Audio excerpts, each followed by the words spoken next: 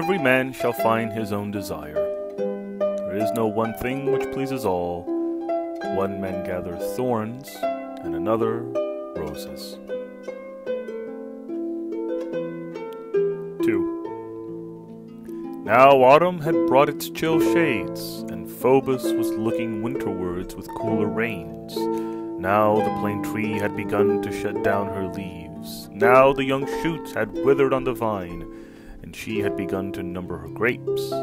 The whole promise of the year was standing before her eyes. 3. It was fear first created gods in the world, when the lightning fell from high heaven, and the ramparts of the world were rent with flame, and Athos was smitten and blazed. Soon twas Phoebus sank to earth, after he had traversed earth from his rising. The moon grew old and once more renewed her glory. Next, the starry signs were spread through the firmament, and the year divided into changing seasons. The folly spread, and soon vain superstition bade the laborer yield to Ceres the harvest's chosen first fruits, and garland Bacchus with the fruitful vine, and made Pallas to rejoice in the shepherd's work. Neptune swims deep plunge beneath all the waters of the world. Pallas watches over shops, and the man who wins his prayer or has betrayed the world for gold now strives greedily to create gods of his own. 4.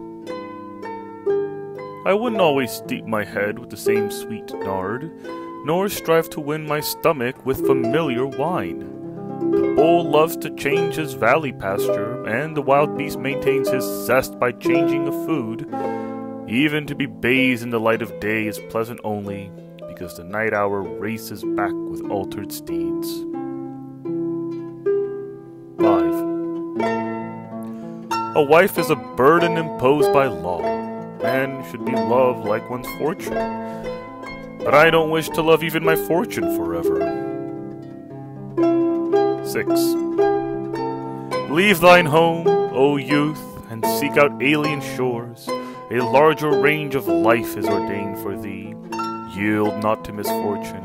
The far off Danube shall know thee, the cold north wind and the untroubled kingdoms of Canopus. And the man who gaze on the new birth of Phoebus or upon his setting, he that disembarks on distant sands, becomes thereby the greater man.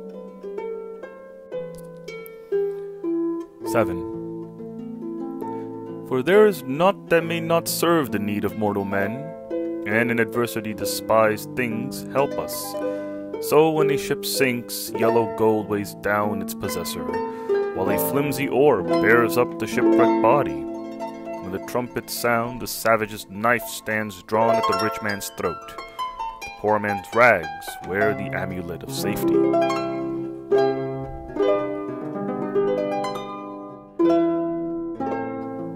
Eight.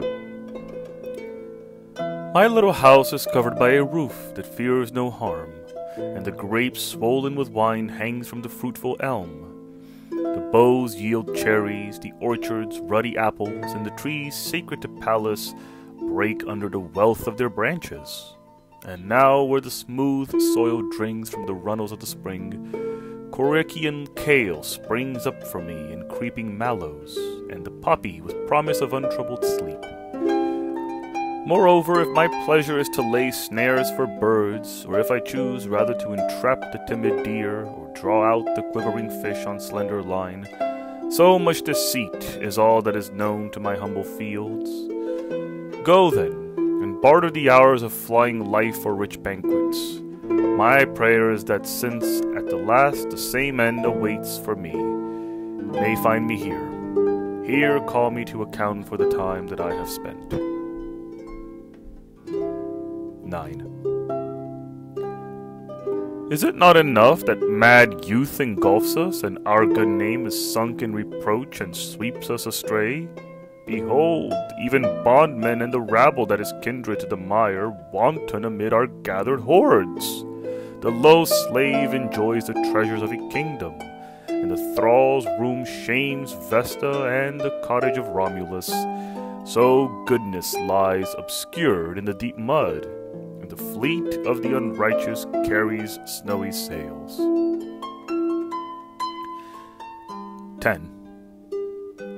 So too the body will shut in the belly's wind, which, when it labors to come forth again from its deep dungeon, prizes forth a way by sharp blows, and there is no end to the cold shiver which rules the cramped frame, warm sweet bedews and loosens the body.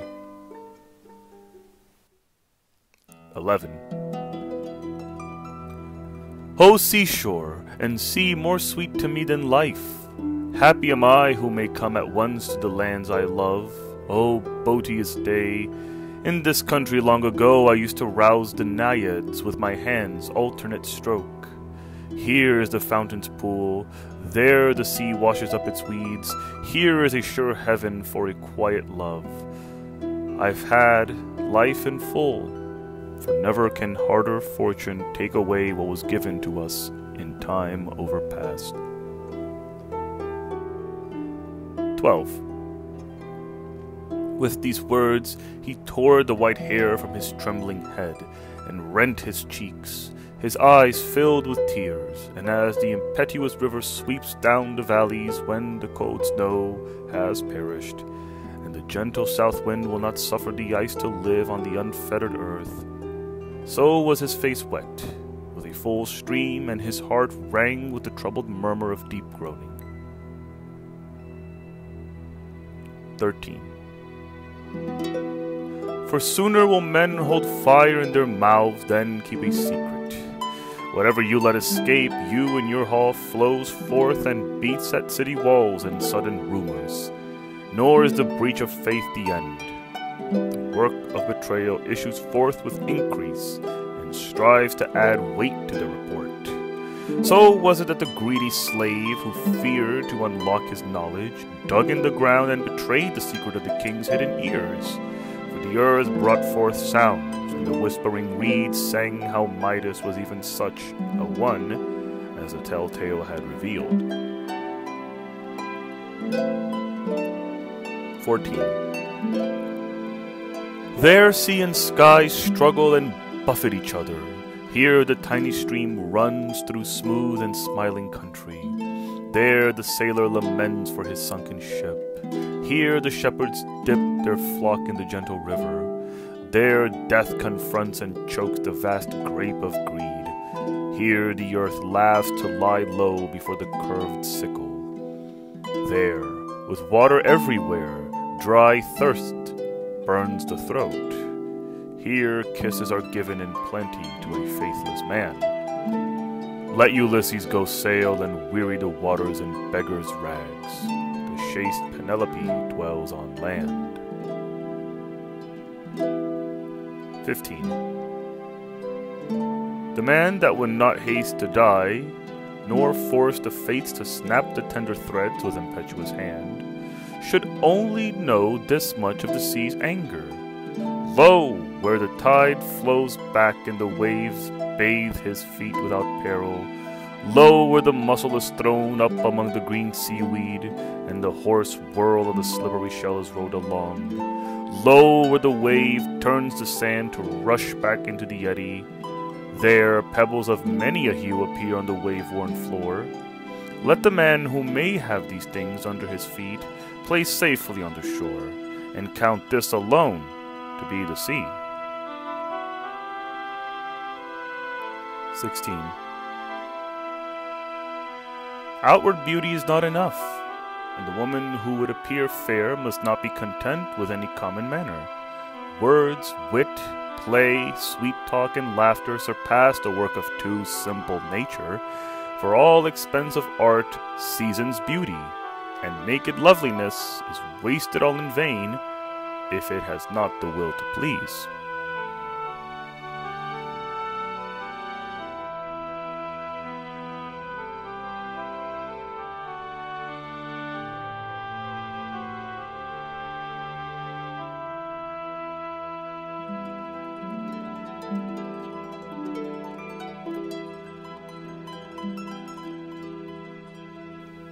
17.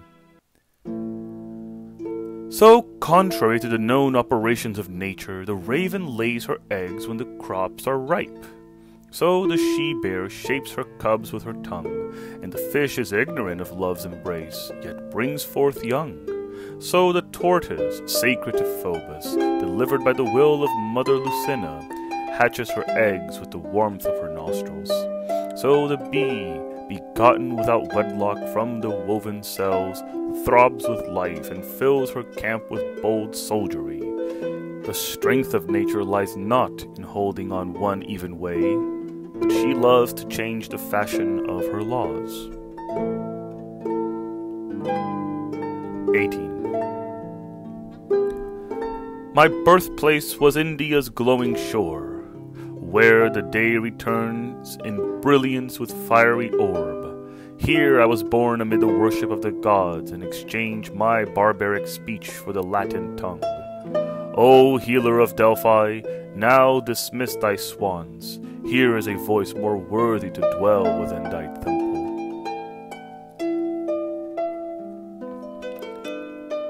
Nineteen.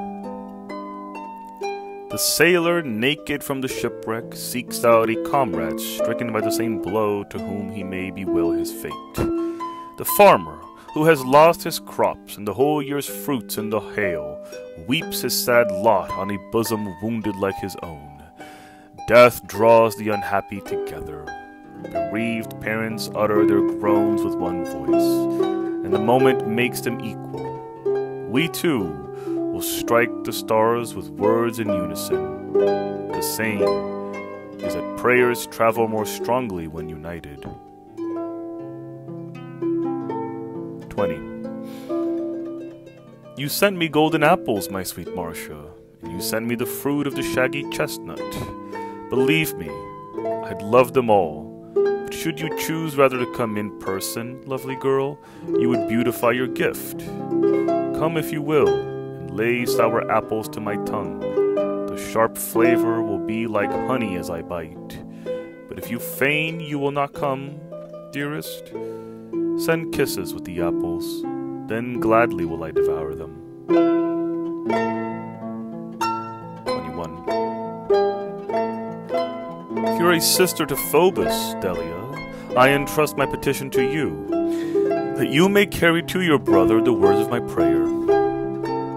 God of Delphi, I have built for you a temple of Sicilian marble, and have given you fair words of song from a slender pipe of reed. Now, if you hear us, Apollo, and are indeed divine, tell me where a man who has no money is to find it. 22. Honest heaven ordained that all things which can end our wretched complaints should be ready to hand. Common green herbs and the berries that grow on rough brambles allay the gnawing hunger of the belly.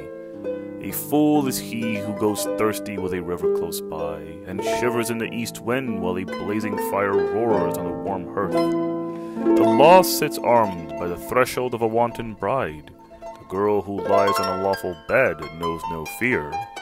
The wealth of nature gives us enough for our fill. That which unbridled vanity teaches us to pursue has no end to it. 23. Doves have made a nest in the soldier's helmet. See how Venus loves Mars. 24. The Jew may worship his pig god and clamor in the ears of high heaven, but unless he also cuts back his foreskin with the knife, he shall go forth from the holy city cast forth from the people, and transgress the Sabbath by breaking the law of fasting. 25. This is the one nobility and proof of honorable estate that a man's hands have shown no fear. 26.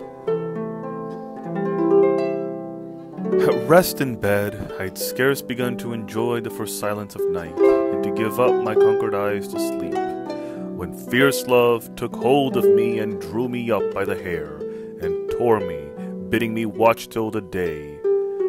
Ah, my slave, he said, thou lover of a thousand girls, canst thou lie alone here, alone, O heart of heart? I leaped up, and with bare feet and disordered raiment started on every path, and found a way by none. Now I run, now to move is weariness. I repent of turning back, and am ashamed to halt in the midst of the road. Lo, the voices of men, and the roar of the streets, the singing of birds, and the faithful company of watchdogs are all silent. I alone of all men dread both sleep and my bed, and follow thy command, great Lord of desire. 27. Long may that night be dear to us, Nealce, that first laid you to rest upon my heart. Dear be the bed and the genius of the couch, and the silent lamp that saw you come softly to do our pleasure. Come then, let us endure though we have grown older, and employ the years which a brief delay will blot out. It is lawful and right to prolong an old love. Grant that we began in haste, may not hastily be ended. 28. The pleasure of the act of love is gross and brief, and love, once consummated, brings loathing after it. Let's then not rush blindly thither straightway like lustful beasts. For love sickens and the flame dies down. But even so, even so, let us keep eternal holiday and lie with thy lips to mine. No toil is here and no shame. In this delight has been, and is, and long shall be in this there is no diminution, but a beginning everlastingly. 29. To love and accuse at one time were a labor Hercules himself could scarce have borne. 30.